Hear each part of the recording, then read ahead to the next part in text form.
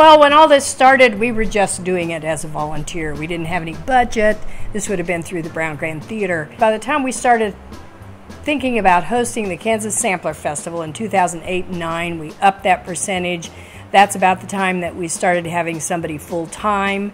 Then it was two people full time, and it has just allowed us to grow into what we are today.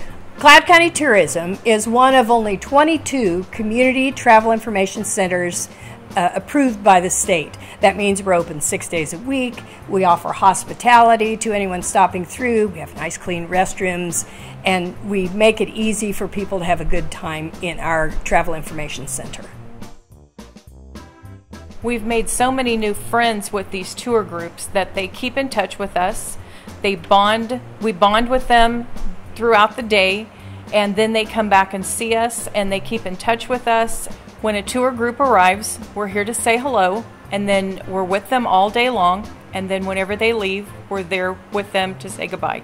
Concordia is unique and unlike any other town our size because there is traffic downtown, there are cars downtown, there are people walking up and down the sidewalks. All this makes for an inviting uh, environment for visitors, and US 81 helps see that.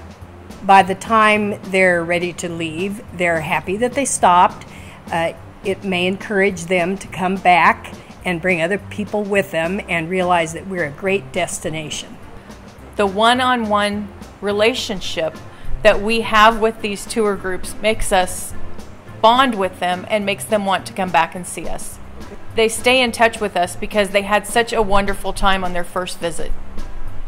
We're happy to have volunteers over these many decades, and we wouldn't be able to be where we are today without those volunteers being enthusiastic, passionate about whatever the attraction is, or or having the same feeling that they want to make sure people who stop here have a really great time.